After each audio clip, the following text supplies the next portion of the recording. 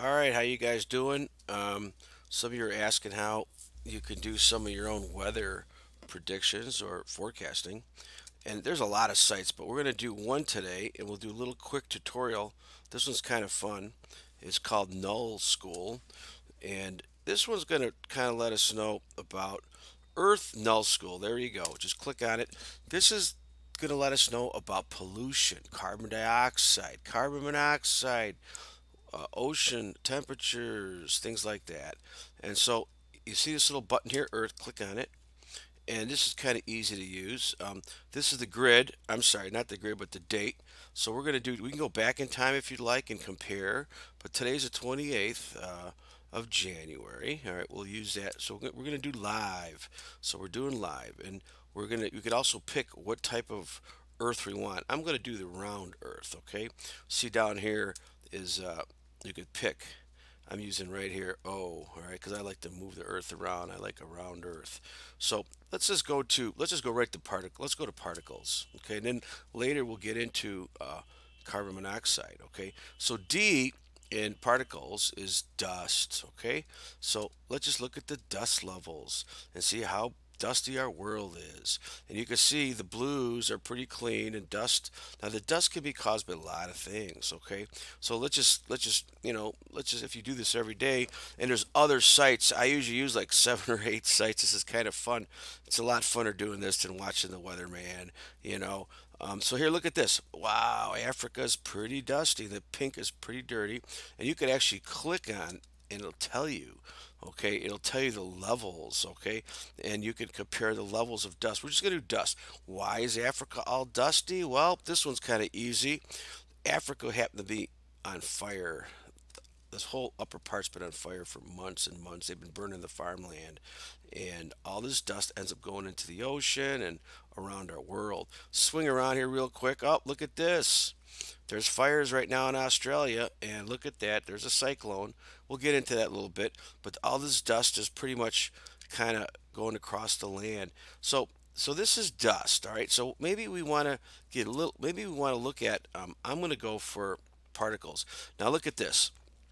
P1, P2.5, and 10. These are these are microns, okay? So these are big. P10s, you know, that could be like soot, things that kind of fall out of the sky. You know, if there's fires, the soot falls down. It could be pollen, things that settle out pretty quickly and get stuck in your nostrils, okay? It doesn't get down into your lungs.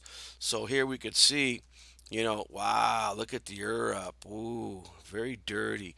You know, everyone's yelling at America. Look at these guys. These guys are polluting. And this is probably from the fire, right? The soot. Okay. And then a lot of this is from uh, combustion, okay, burning and chemical plants, and they're major polluters over there.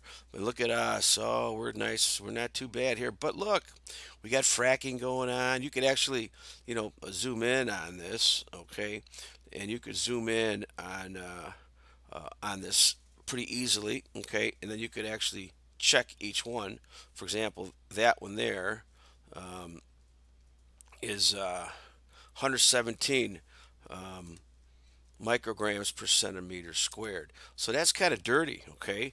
So now we're going to move on to a couple different particulates. Let's move on to the stuff that gets in our lungs. 2.5s, okay, there's a little bit bigger. Most your mold spores, like your penicillium, your cladosporium, you know, your your aspergilli, your your your your slime molds get stuck in your nose. You know, when your furnace kicks on, you start sneezing. So these are, you know, fives to tens. Two fives go down into the lungs, and ones actually go into the cilia. So let's just look at dangerous places. Excuse me. And so, U.S. isn't too bad. I do notice though that we have a lot of particulate here uh, along the coast, the Pacific coast. We have those fires, right? And there's a lot of fracking going on here, fracking, fracking. And like I said, you could zoom in on this. There's a couple volcanoes, all right? Um, kind of swinging around. Wow, look at this. Wow, look at this. I mean, if I would never hang out in this part of Africa right now. I mean, this stuff is 190 micrograms, 115 micrograms per, per meter cubed. Okay, and I don't know if we could change it to a different. Nope, we're stuck with that one. Um, 268. Wow. Okay, and uh, and you can even see over here, China. All right. Now you're all wondering why why why Russia's so nice. Well, what's going on with that is a whole nother ball game. This is uh, what's happening here is our polar vortex has shifted, and this is very cold. So it appears that the cold weather, these these are cold weather coming down from the Arctic. Um, it appears that that does displace our particulate, maybe cause it to fall out, or it could just be a satellite thing. You know, um, maybe the satellites. Um, might not get the proper readings. Now look at this, Africa. There's a fire right there. Look at that. Africa, I'm sorry, Africa, uh, Australia. They had a lot of fires here a couple of months ago, and now they're burning this part. I mean, this place has been on fire for a long time. They're cooking there right now. It's 100 degrees, and you can see this fire, fires, lots of fires aren't helping much. Okay, now there is a cyclone coming in, and maybe they'll get lucky, and this guy will come here and wipe that out. But you know, you'd have to look at this every day and check it out. It's kind of fun. It's, it's almost like a TV show. All right, and so let's move on. Let's look at do a couple more things. So you know, we did the particles. Now we could do chemicals, and chemicals include carbon monoxide. We don't like carbon monoxide. And look at this. Let's go over to to the America. Wow, look at this. The East Coast. These people are polluting big time. This is parts per billion. 800 parts per billion in California. Look at that, 443. You know, and you know what's funny? I hate to say this, but these the people on this side and on this side are the ones crying about this. They're crying about this, and where's it all coming from? From their parts of town.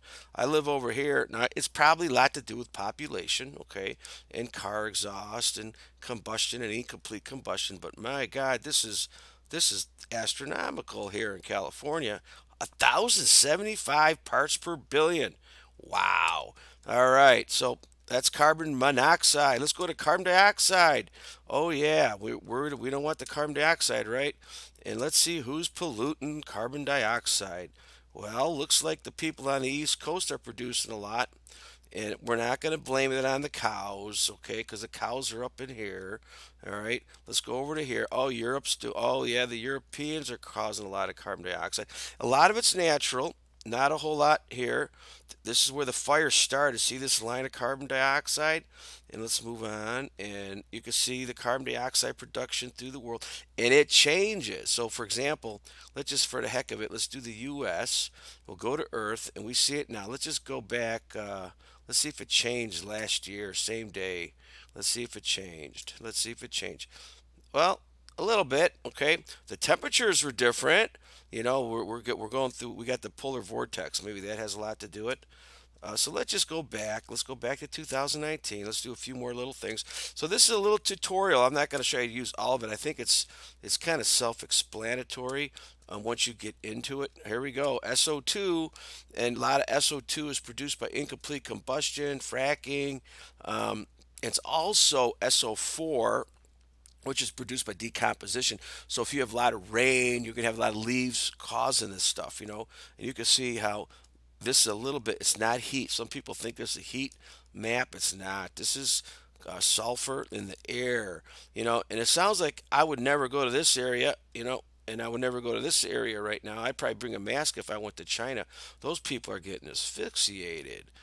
I mean, not just in carbon and sulfur, but in carbon monoxide, carbon dioxide, and particulate. And so it does more. It does the air, so you could look at your um, uh, up. You could look at your wind. It does temperature. You could do your. Um, you could do the. Um, you could do uh, surface temperatures. You could do the uh, um, the wind currents in the upper atmosphere. You could do the jet stream. Very cool. Ocean. It does ocean waves. I like the waves.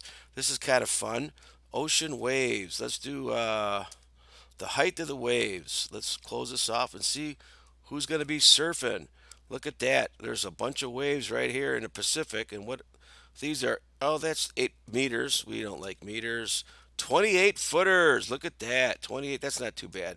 I've seen them as far as 60 feet and 70 feet. We got some waves over here, upper Canada. Okay, and a lot of turbulence.